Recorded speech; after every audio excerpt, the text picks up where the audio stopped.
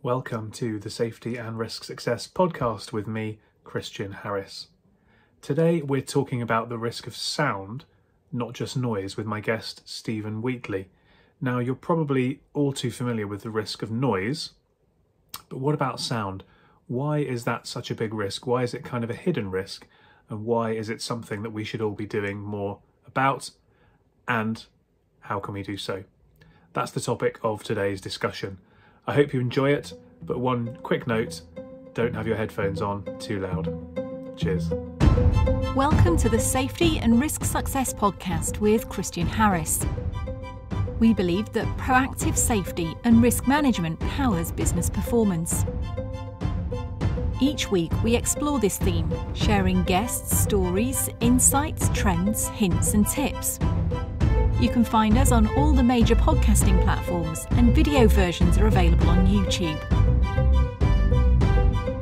But for now, let's join the conversation with Christian. Okay, welcome everybody to this session. We're just going to let people start filtering into the Zoom room. Uh, if you are uh, joining us on one of the live streams, welcome. Um, thank you for joining this session today, this safety roundtable session uh, about the noise, sorry, the noise, the risk of uh, sound, not just noise. Um, we're going to just let some more people join and then we will get started. And I'm just going to double check on my phone, multitasking, that um, everything is going as it should. And it looks as if it is. Perfect everything seems to be working. So that's always a bonus. Good stuff. So uh, let's get started. We're here today on the Safety Roundtable, uh, and the topic is sounds risky. Uh, so we're going to be talking about the risk of sound, not just noise. Um, if you don't know, the Safety Roundtable, if this is your first time, uh, the Safety Roundtable is a fortnightly Zoom session where a bunch of us hop onto Zoom and have a chat about a different topic each time related to safety and risk. Uh, sometimes it's just me hosting and introducing a topic. Uh, sometimes, like today, we have a special guest uh, to discuss the topic with me. And then it's always, always, always opened up to questions and thoughts and comments and insights from everybody taking part. So if you are joining us on a live stream of this, then I really recommend following the link, which will be in the um, whatever platform in the notes uh, that, uh, that you're watching this on, uh, and joining the Zoom, because then you can kind of really get involved in the interactivity side of things. So with that said, um, I will stop sharing and uh, love to um, say hello to you, Stephen, and welcome you to the session today. And, and, perhaps you could start just by giving a bit of background, a bit of context on why it is we're talking about this and, and what you um, are doing in this in this area. Yes, thank you. First of all, uh, Christian, thank you very much for inviting me to come and talk today. And uh, good afternoon, everybody. It's a pleasure to be here talking to you. Um, just as sort of, if you like, a bit of disclosure and a bit of background on me, if you like, um, I've got a number of hats. Some of them are pro bono and some of them are uh, we make a living out of. So let's start with the making a living. So I'm uh, founder and CEO of a business called LimitEar Hear Angel. We have spent the last 14 years or so safeguarding the hearing of people who wear headphones, whether they're wearing them at work or whether they're wearing them recreationally. When we're at work, we're generally using wired headphones, and we have a dongle which we supply that uh, safeguards in line with the noise at work regulations. Um, and out of work in the recreational space, um, we are looking at a, a wireless firmware, a firmware that's in wireless headphones that gives users information about their exposure, like a Fitbit for your ears. So that's the that's the day job, if you like. But I, for a number of reasons, uh, I've managed to acquire a number of uh, pro bono um, responsibilities, which I'm, I'm very pleased about, and uh, they're all in the same space. So the first thing is I'm a member of the World Health Organization's World Hearing Forum, which is seeking to um, work and focus on avoidable causes of hearing loss. So that's what its uh, overarching ambition is. You know, we're not dealing with those sad people or those unfortunate people who have uh, different hearing when they're born. We're talking about people who are normal hearers and make enabling them to conserve their their hearing throughout their life. Um, so that's the World Hearing Forum. As a result of that, I'm also a member of the World uh, Health Organization ITU Safety Standards Committee, which has written some new safety standards for recreational headphones. Um, so if any of you happen to use um, Apple uh, headphones or Sony headphones, probably more importantly, um, you'll find that they now include some hearing safeguarding features and they're in line with the guidelines uh, of the ITU WHO. I'm also involved with the Make Listening Safe campaign, which is hence why this logo is behind me today. Um, the Make Listening Safe campaign is a global campaign. It's going to be piloted in the UK and it's going to be launched on November the 1st at an in-person event in London. Um, there are some tickets available. If you're interested, please come back to me. I'm also a founder and trustee of the UK Hearing Conservation Association. Um, and yeah, that does exactly what it says on the tin. And there may be some members of the UK HCA here with us today. So sorry, that's a bit of a long gallop, I'm afraid, but uh, the, oh, the, disclosure is done, Christian, and I hope everybody understands where I'm coming from. No, that's all right. It's uh, it's useful to know the context um, so that people can kind of uh, see uh, see where you're coming from, or uh, or should I say, hear where you're coming from in the context of uh, of this discussion. So let, us start at the top then. Um, in the title of this event, we talked about the risk of sound versus noise. So perhaps we could just start by defining, you know, what is sound versus noise? What's the difference? Um, in what context should we be thinking about each of those things?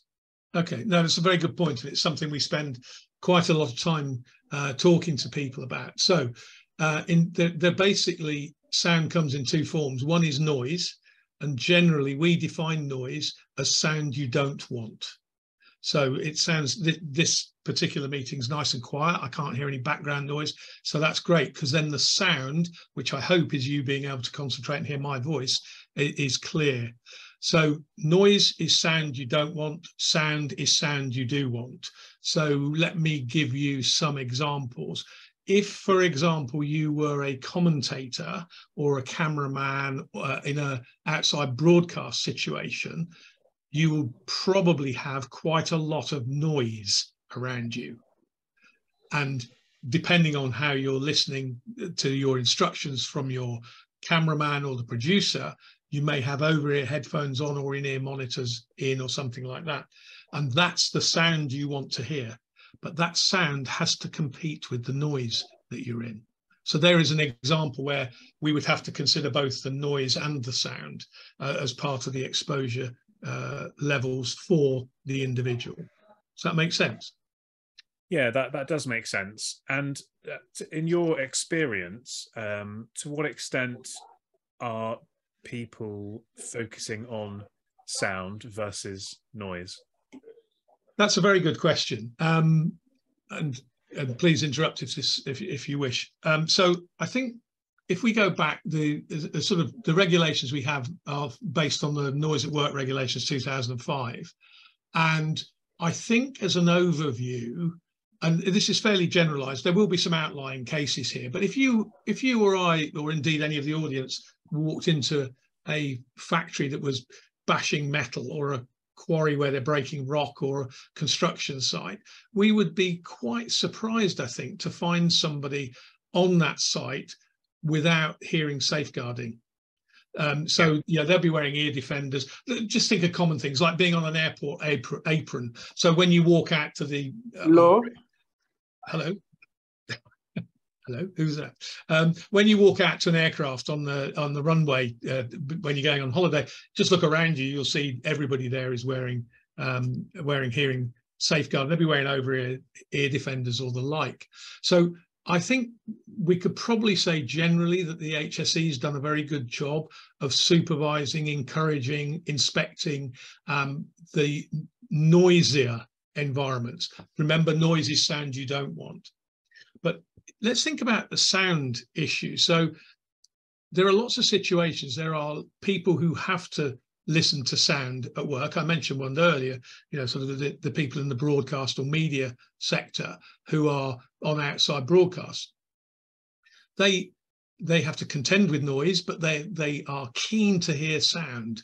So I, am sorry to use the sort of sporting analogy, but you know, there's a there's a penalty about to be taken. The director's about to rewind the video, and he says it's going to go in one, two, three, and he wants the commentator to opine on on that. You've got a really noisy environment, probably without any hearing protection on uh, well over 100 dB.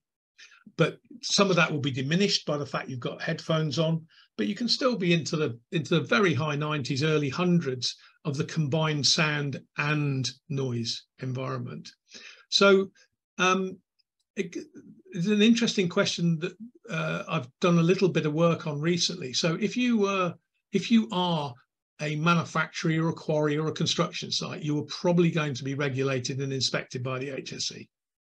And from what I understand, they have something under a thousand inspectors to cover the whole of the country. That was the information I was given when I spoke to them the other day. Yeah. If you're in a an administrative environment, so you might be in an office, um, you know, an open plan office environment, you know, wearing headphones. We we I'm looking around this audience and I'm seeing people wearing headphones in this audience. What is your exposure level at this time? And the the thing is that your handset can produce quite easily 100 decibels. So if you produce uh, speech at 100 decibels, you can probably listen for somewhere around about 25 to 35 minutes a day. But we're not taking that seriously. So I think what we've got is we've got a situation where there are people at work who are now well protected against noise, and so they should be. I think that there's a much bigger risk in the future as as there are many many more times the number of people in manufacturing and construction are sitting in offices as we speak or sitting in coffee shops or sitting at home wearing headphones. And and i don't think that has been taken seriously. Yeah. There is a regulatory piece about that as well is that that falls outside of the hse's direct requirement. It while the HSE is responsible for all regulations, it's an environmental health officer who would be the person that would highlight that risk. Um, and I think they've got a difficult job. You know, they come into a, an office building or an administrative facility, and they've, they've probably got 20 or 30 things they need to have a look at. Yeah. And they haven't seen in the past headphone use in open plan offices as a particular issue. And I think we need to try and help uh, raise the uh, issue with them so that they at least become aware of it and start to look at it. Yeah, and and, and this was one of the things that I was um, that, that drove me to be keen to have this conversation because there's quite an interesting analogy with my field of slips, isn't there? Where you know it's something that affects huge amounts of people. It's the biggest cause of um, people going to A and E, for example. Uh, yeah. But yet, it's kind of where where do we look at that on the spectrum of you know this this high uh, volume uh, of potentially sort of low um, perceived risk versus the the high risk of you know a fall from height or something, but a low volume. And I think we, you know, generally speaking, are doing pretty well uh, this kind of end, but but less yeah. well at, at, this end. So yeah, that, that was kind of why I was interested to I, I, think this. I think that that that so it's not an uncommon problem. I mean, if the whole thing, if the HSE had twenty five thousand inspectors and was responsible for all both the industrial environments and the commercial environments, I think we would probably have a different um, a different issue because you would you would you would talk to the HSE and they would they would make sure their inspectors were aware of it. So Interestingly, in the field of slips, um, the HSE were at the IOSH Food and Drink conference a couple of weeks ago, uh, and they were saying this is second-hand information because I wasn't there, but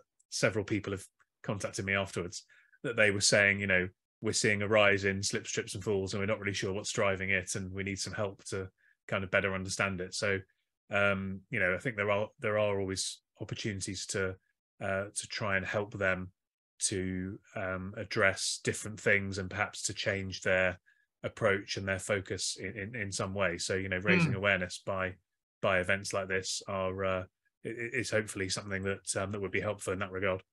Yeah. Um, was there any? Uh, I mean, that's, probably a difficult question to answer. Is there is there an increase in slips and trips, or is it increase in reporting of slips and trips? Because I think that's another issue, isn't it? That you know. Yeah. Well, um, the the HSE would be basing it on RIDDOR data, so the more serious injury data. So they would see yeah. an up an uptick in the number of injuries caused by uh, by slips and trips. Uh, there's a massive um, underreporting issue in slips, trips, and falls, just as there is, I suspect, based on what you're saying, in in the the risk of, of sound, because yeah. people people um, are not looking for it, they don't know how to define it, um, they don't really understand that it is a risk, etc.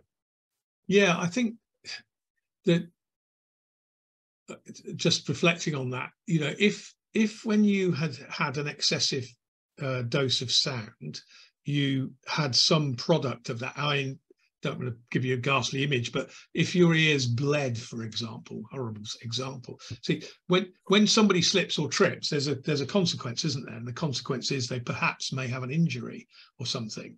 And you know, I don't wish that on anybody. But the th- the problem with sound is you can damage your hearing and not know about it for a considerable amount of time. Um, couple of things uh, that I'd like to sort of put in the mix here. Um, th there's some research been done at Manchester University about sound. The problem with sound is your exposure doesn't become evidently damaging for a considerable amount of time.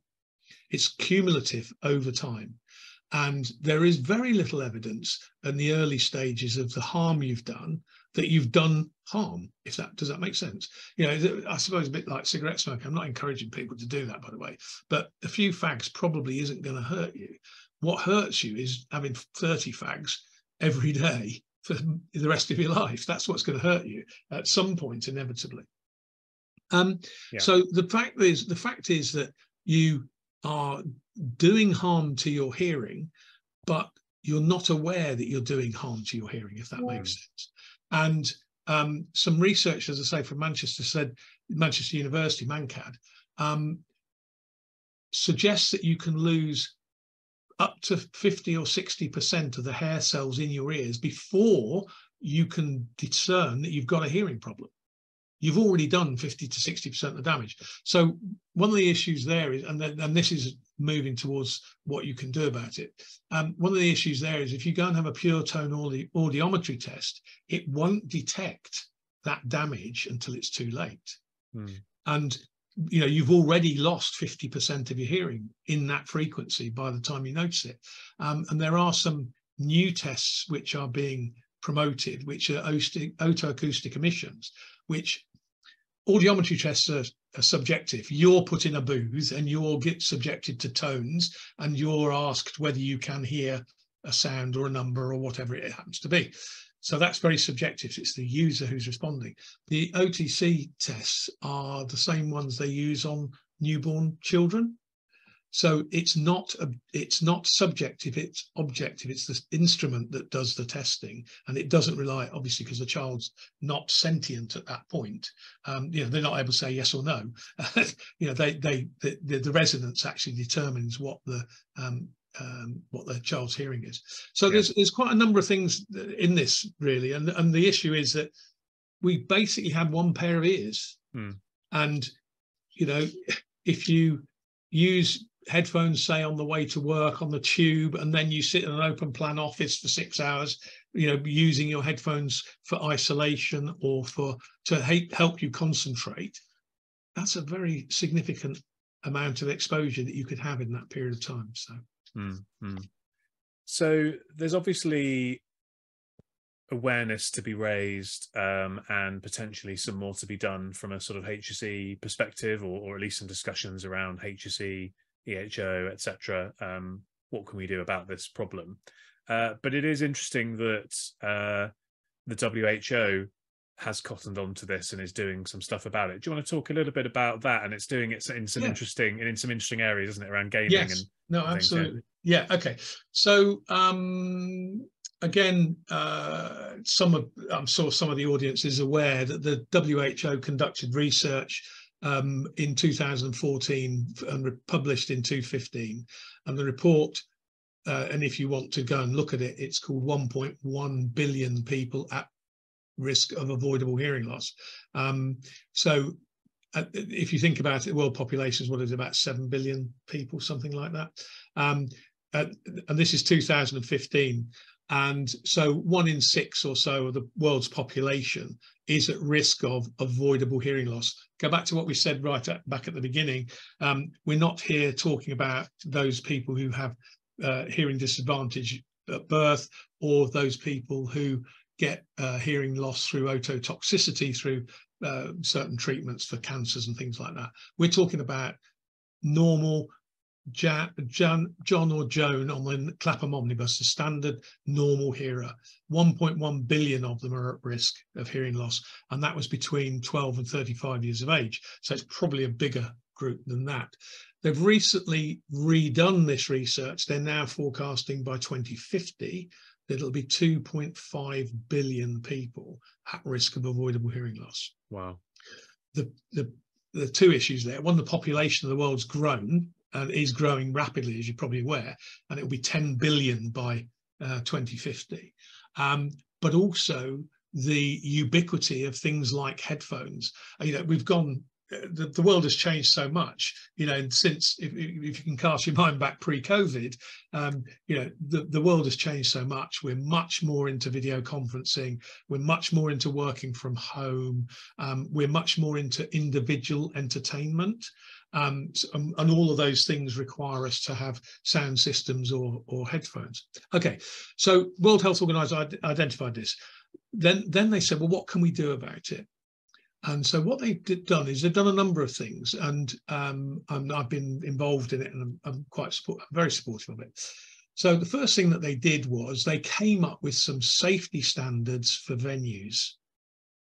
Now, the, the biggest single risk to hearing is probably headphone use. That's not because headphones themselves are more dangerous than going to uh, live events, whether that's sporting or music. They're just, it's just the ubiquity of them. You know, you're looking around this audience, they're probably a third or maybe a half the people have got headphones on, you know, and I would have them on normally, uh, you know, at this time. So um, so the first thing that they've done is they said let's look at live events and they've issued some standards for live event venues to do with things like normalizing the sound level throughout the venue as a much much younger person i went to see AC/DC once in a in a um, sports hall at a university. And i stood at the back and i probably was about 75 meters away. And i it was absolutely unbearable at the back. Goodness only knows how loud it was at the front. I recently had the privilege of going to see a concert at Hyde Park where they had curved array speakers, which meant that the people at the front were getting the sound from the speakers directly above them, so it could be tuned for them.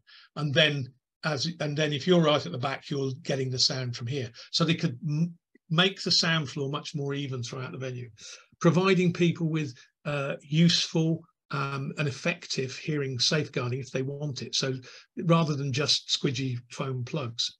Um, so that, that, and on a side issue, I've just been to the launch of the Nighttime Industry Association's campaign called Listen for Life, which picks up on the the key points that we're working on with the Make Listening Safe campaign. So the, the, second part of what the WHO did was they then got together with the ITU, which is a, another part of the world of the United Nations, and they have cr created some safety standards for recreational headphones. And those safety standards, to their credit, have been adopted by Apple, Sony, and uh, Pixel, and will be adopted by the regulator for Europe sometime in the next 12 to 18 months. So headphones that you buy in Europe will actually start to provide you with information. So that's another big thing that they've done. Um, the other thing that they have done is to create the Safe Listening Alliance, which is a this product complies campaign, if you like. So if you see the product with a sticker on it that says it's Safe Listening Alliance, that product provides uh, features which are in line with the World Health Organization standard.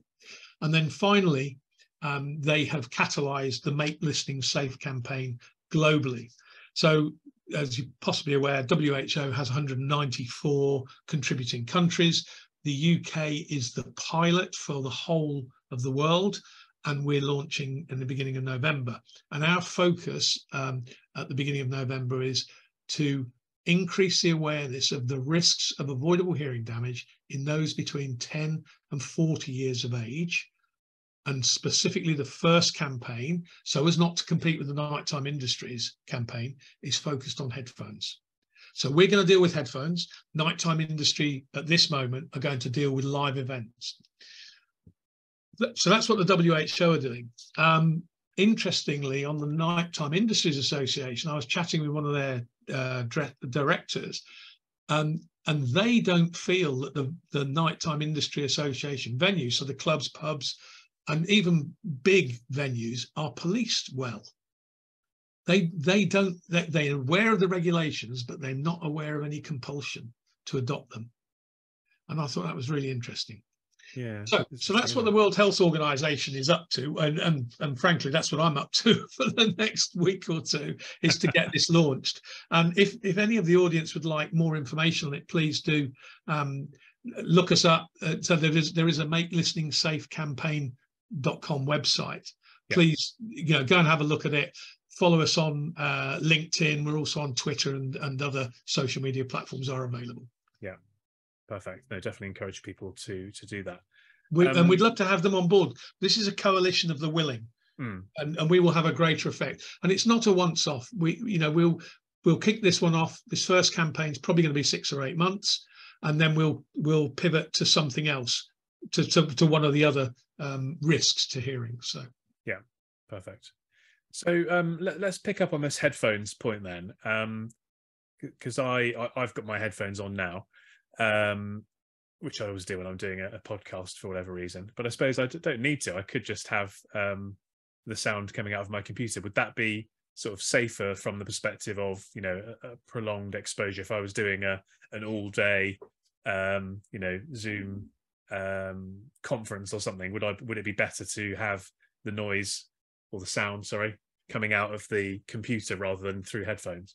Okay, well, it depends. You, you you accidentally led me into a very good point, really, which is um, first of all, try and get the noise in the environment you're in under control.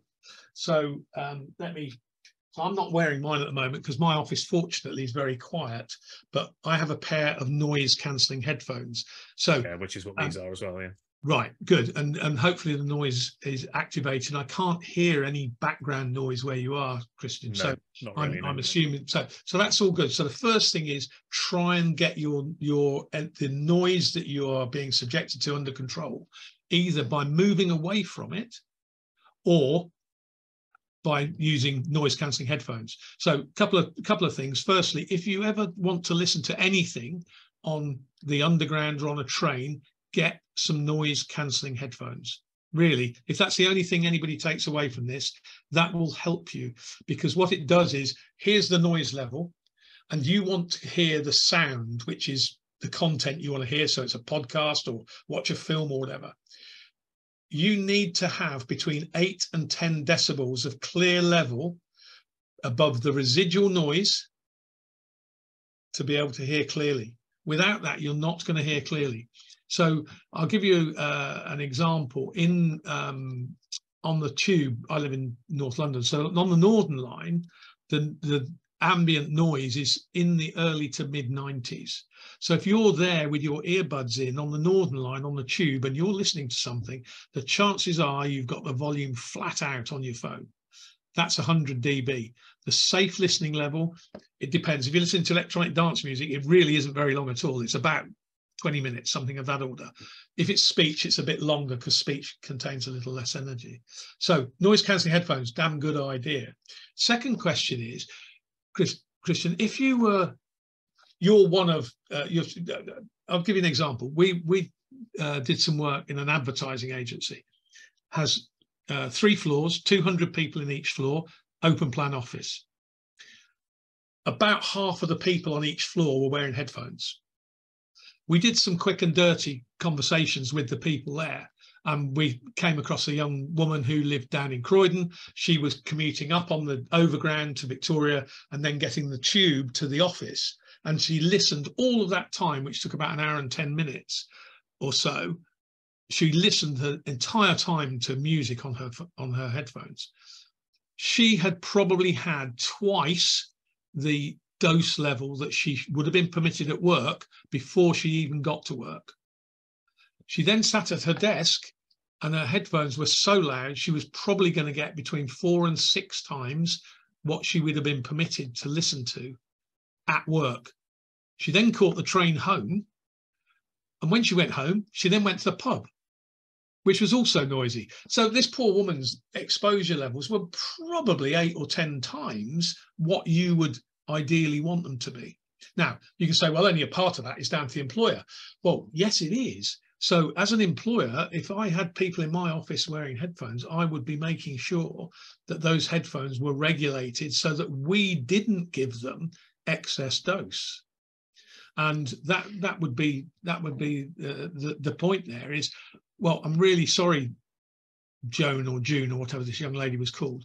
Um, very unlikely name for a young lady, I'm afraid. Um, but we, you know, I'm really, we were really sorry that you've lost, you've damaged your hearing, but you didn't damage it while you were at work, mm. and therefore it's not down to us. Um, so um, the World Health Organization's plans are to, to make all headphone users aware of the risks. So it's not just focused on recreational headphone use, it's focused on recreational and occupational. And I suspect some people will be going to their employers and saying, I'm working in this contact center with a pair of headphones on all day. Uh, what can I do to, or, or what are you supposed to do to look after my hearing? So I think probably I would recommend if I was, uh, you know, if I had people in my company who are wearing headphones, I'd be looking at how can I safeguard their hearing, but also safeguard the company's liabilities um, over, over, the future. And yeah. you know, to conclude on that, you know, we have one pair of ears. I don't have a pair of ears I wear only for work. No.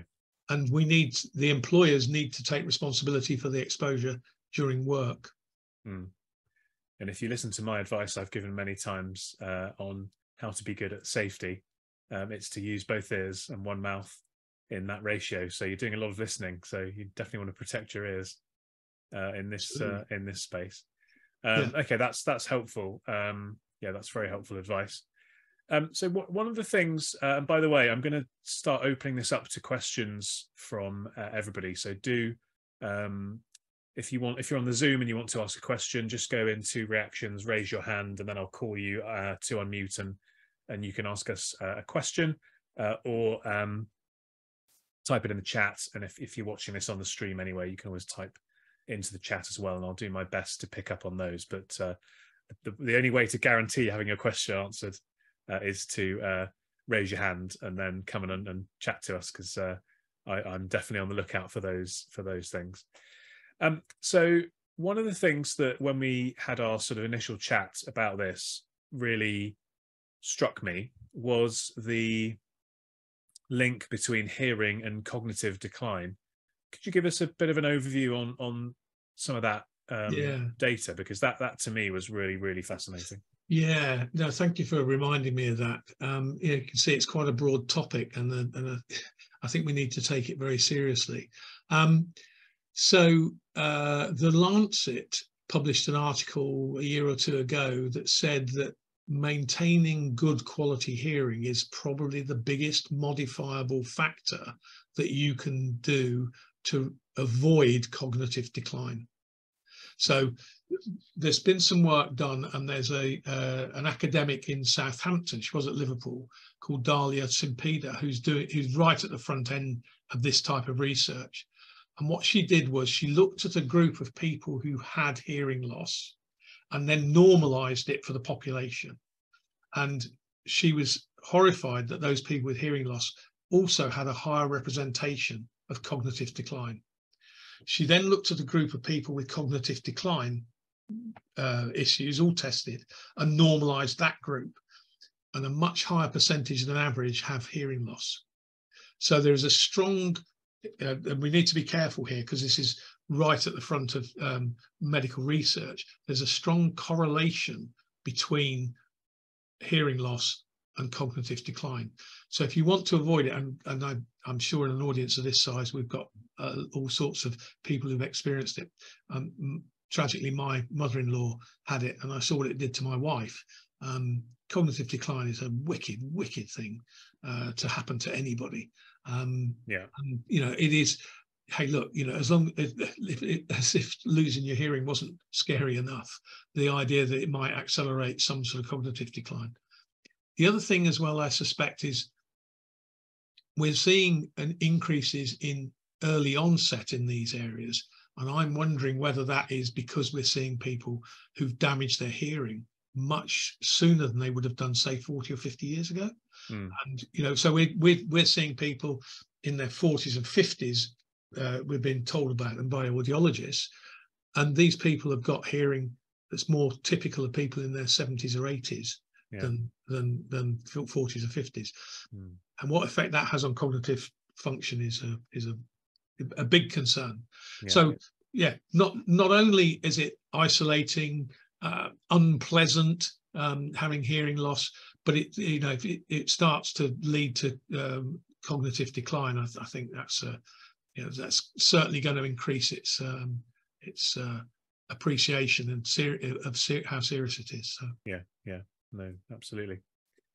So you've given uh, some advice on headphones, um, both from a personal and a, a, business perspective.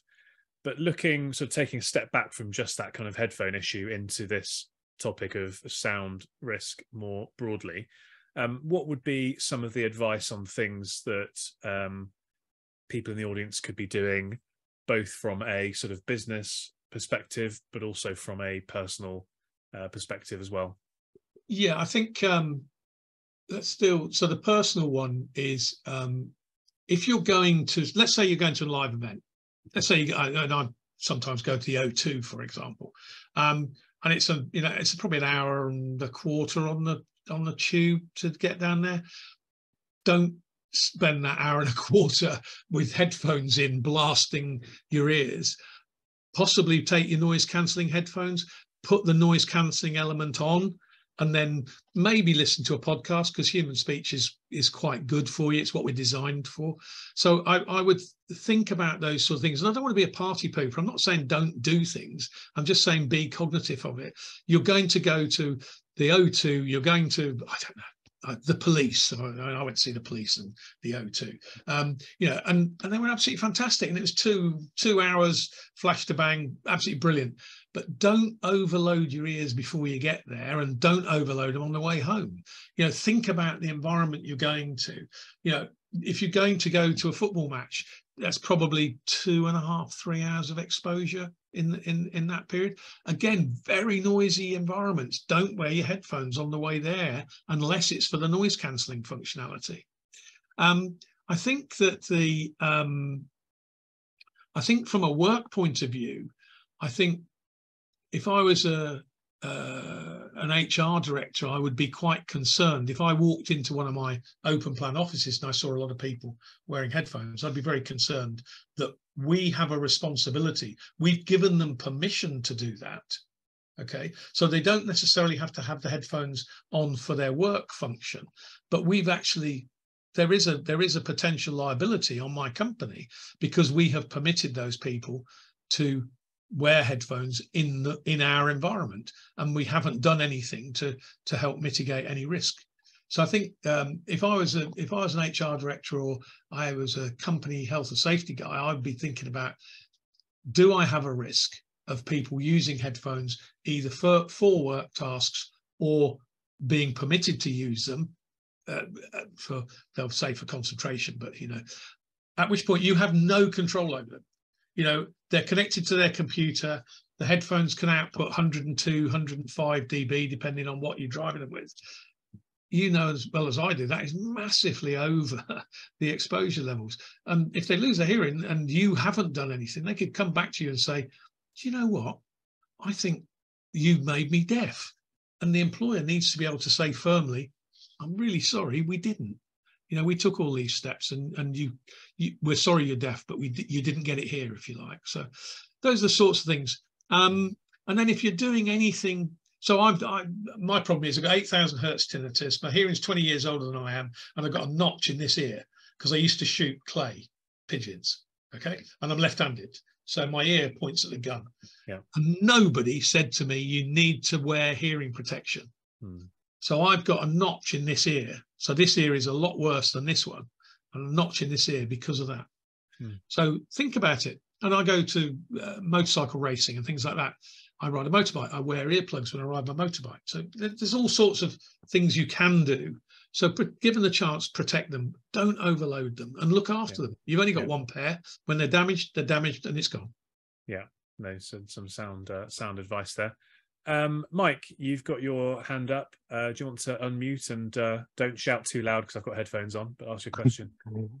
I will try. Certainly, uh, Mark Light raised it first or in the chat as well. And uh, I think Rosemary also echoed that it's a really good question. So it's something that's been bothering me.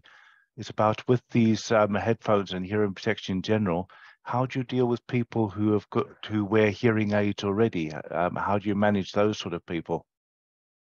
Thank you for your question. That's a very good question. Um, I'll tell you how you don't do it, and then I'll tell you how you do do it. So uh, I we did a lot of tests with broadcasters. We're a, uh, we're a supplier to the BBC, so we did a lot of tests with them. And we turned up at a football match, Premier League football match, and I saw a footballer who most of you would know, who is now a commentator, take his hearing aids out and put his headphones on. That isn't how you do it when he was actually at the commentary position, we were able to monitor his level. I could not put the headphones on my head. They were so loud and so painful. The HSE guidance is that the, the person who has impaired hearing should take steps to restore their hearing to as normal a level as possible and then be treated as a normal hearer. Now, whether that's technically possible, because I'm not a hearing aid expert, but I'm, you know, and I don't, you know, I don't know what sort of technologies are in the hearing aids, but that is what I'm told they're supposed to do. So um, yeah, so they they should be they should do what they can to restore their hearing. The other thing to remember is a hearing aid. So I wear spectacles, which, as you can see, and um, that kind of restores my sight to what it was like maybe 20 years ago. Unfortunately, what hearing aids do is you have your audiology test and they say you can't hear in this frequency. And what the hearing aid does is it amplifies that frequency. Or if you have very little uh, reception in that frequency, it moves it to an adjacent frequency. So it's a bit like having spectacles that emphasize a particular color. Now, if you like music and you're an aficionado, that's going to sound very, very odd. So hearing aids are essential because they may help you avoid cognitive decline, but they're not going to put you back in the position you were in before your hearing was damaged. So I hope that helps, Mike. Thanks for that. Uh, thanks for that. Good question, Mike, and thanks for the answer. Um, Ross on LinkedIn has asked a question about Is there a difference between using headphones and earphones from the perspective of headphones will allow the user to hear sound while blocking out ancillary noise, earphones allow ancillary noise, but perhaps with less heat and moisture being trapped. And so, does that affect? Does that sort of heat and moisture question come into play from a hearing, um, noise, and sound perspective, or just a sort of hygiene uh, perspective? Okay, I think uh, I would go back to. Uh, sorry to be repetitive, but it's. It, it, I hope it's helpful uh, rather than introducing another uh, theme. I think the answer to your question is depends. So on the tube, I wear these. They're noise cancelling. As you can see, they've got a big pad. And in just even before you turn them on, they probably reduce the noise on the tube by about 10 dB. Now, that's really good. So suddenly you've gone from early 90s, 92, 94 dB down to 84 and so your listening level is going to be somewhere around the early 90s so it depends on your environment if your environment is quiet i'm in my office in north london at the moment it's very quiet i would be quite happy to use earbuds or earpieces here the problem with earbuds or earpieces is they don't get rid of sorry problem or advantage. They don't get rid of noise. So if you wear, if you at some point, the next time you're on the tube or a train, you see somebody with earbuds in or earpieces in, their the level of sound that they're competing with is a very large part of what's being delivered to them. And so they will have to listen at a higher level. So the answer to the question i'm afraid is depends. Noisy environments over ear headphones are good because they have passive attenuation which reduces the level of sound you get at the ear plus they have the noise cancelling feature we've done some tests with these you can listen three to four times as long with these headphones in noise cancelling mode as you can without. So, you know, noise cancelling very, very effective. As to your point about ear hygiene to do with moisture of earbuds, not my part of ship, sir. I don't really know whether there is any difference. Um, I personally don't like having my ear canal blocked. I don't know about you. Um, so, yeah, I mean, that's a per- matter of personal taste. But uh, you know, if it's important, we can certainly go and I can go and ask. A, uh, we have an audiologist on the board of my company, and we can certainly go and say to him, "Is the moisture um, heat issue a big one for earbud users, and what mm. are the consequences?" Mm. We can ask if, if that's important to somebody. Yeah, so I've I've got these which I wear for my sort of webinars and podcasts and so on. And then, funnily enough, when when I'm out and about uh, on the tube or whatever, I've got my little uh, Apple things, but I but I don't actually listen. Um, I t- when I'm actually on the tube, I turn it off. Um, I don't try and turn it up because I know I just know that's not good for you. So I I listen to I use my little earbuds, you know, yeah. to and from the station or whatever. But then if I'm actually on the train, I yeah I just turn the stuff off because I know I, I never be able to hear it. Because of the Northern Line, I mean, you know, I, am very fond of the tube. I think it's an absolutely amazing system. But because the Northern Line's so noisy, I quite often wear these without any content. So I'll just have them on noise cancelling, particularly if I'm reading a book because it, it helps me concentrate. Good, uh, good, good tip there. Um, now we're we're coming up to time. Um, Rosemary's put something in the chat, which I think is a, is a really good question to to end on, uh, which is that she recently left a role and she was trying to get sound to be aware of this issue of sound, but was was struggling. And, and she's asking um, why is that? And i suppose a supplementary question from me would be um, you know concluding this bringing uh, for, uh, and wrapping this up in the context of of the audience you know what can we do? Uh, what would you encourage us to do um, to to try and, and help you on the mission to to raise awareness among our uh, colleagues? Right. Um, i think I think the issue is the one we touched on before. If there was some obvious product of having overloaded your ears, other than perhaps a little bit of sh- threshold shift or a, a, you know a disappearing tinnitus, in my tinnitus came and then disappeared again, and I didn't take it seriously because I didn't know enough about it. If if there were clear was clear and obvious uh, consequences every time you overloaded it, I think you know that life would be very different. Um, we have to make this point that hearing damage is a very gradual uh, effect. I think we have to make the point is that until you've damaged half of it, you probably can't detect it. And I, th I think we probably have in the work setting, we probably have to get the employees to be aware of the risks and ask their employers what precautions they've taken to look after their hearing while they're at work.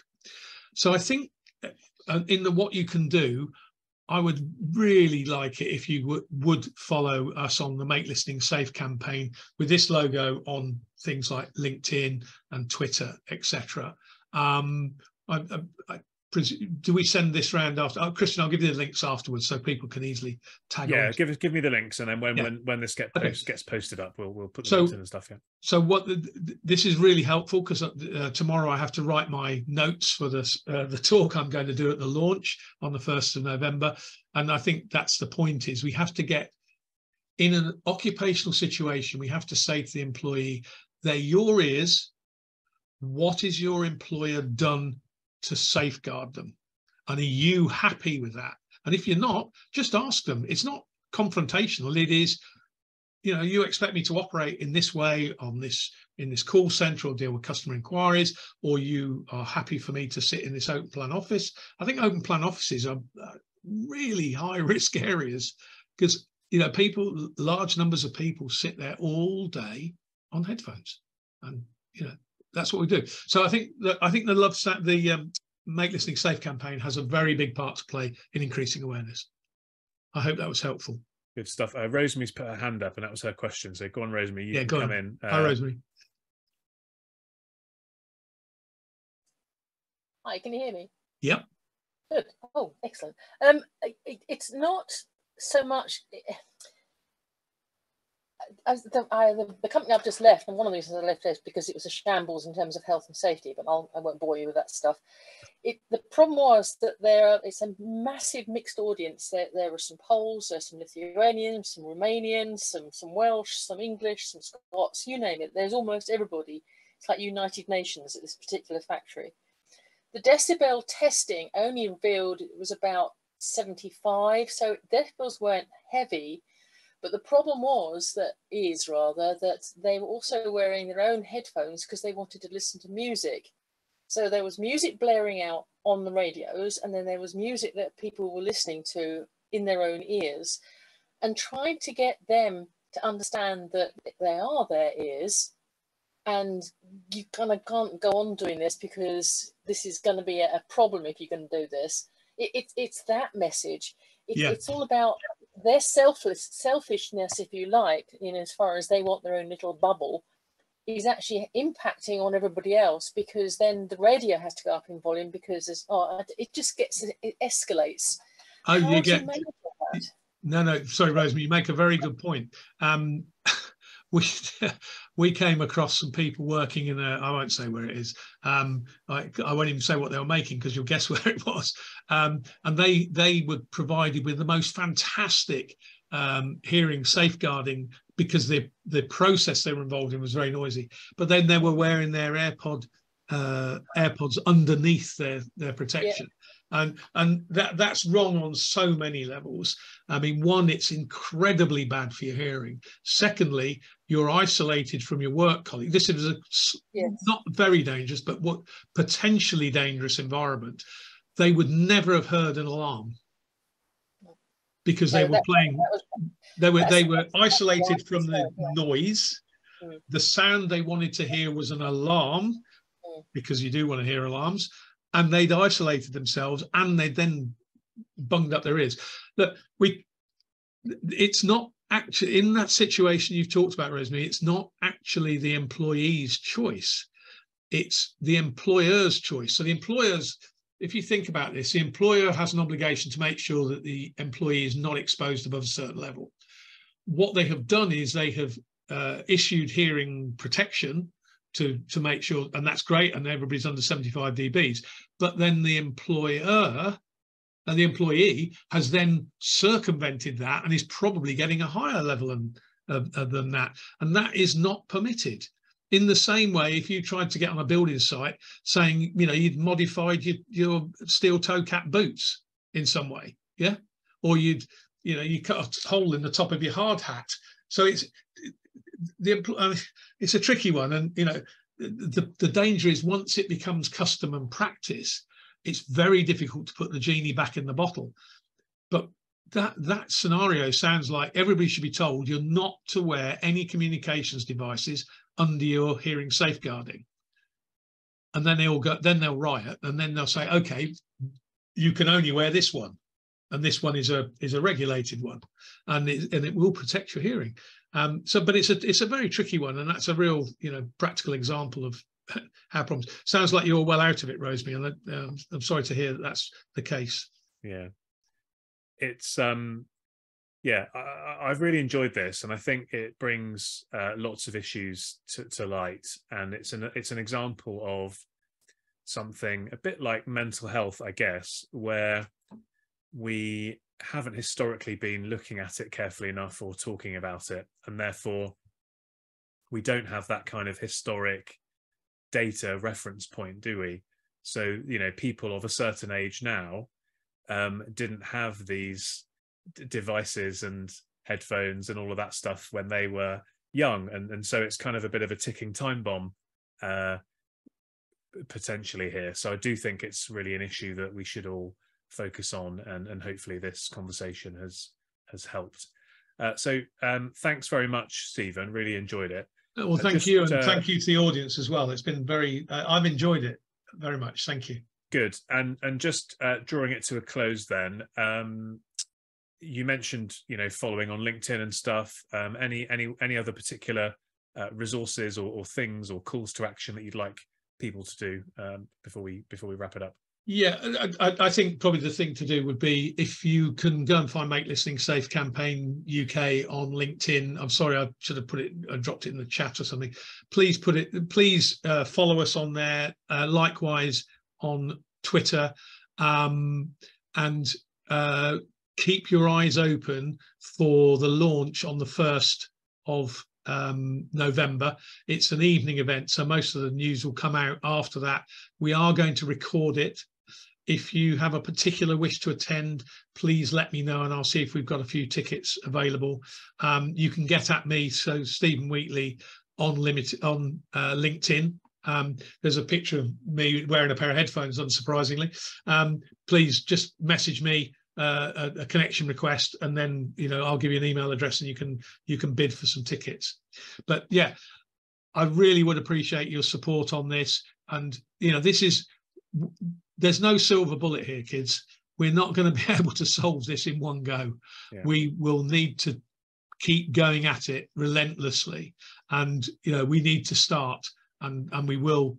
Well, we've been at it for 13 years. We've had some success, um, but I, I, think this uh, Make Listening Safe campaign here and overseas will be a, a, major step forward. But thank you again for, for attendance and your excellent questions. It's been very enjoyable. Thank you.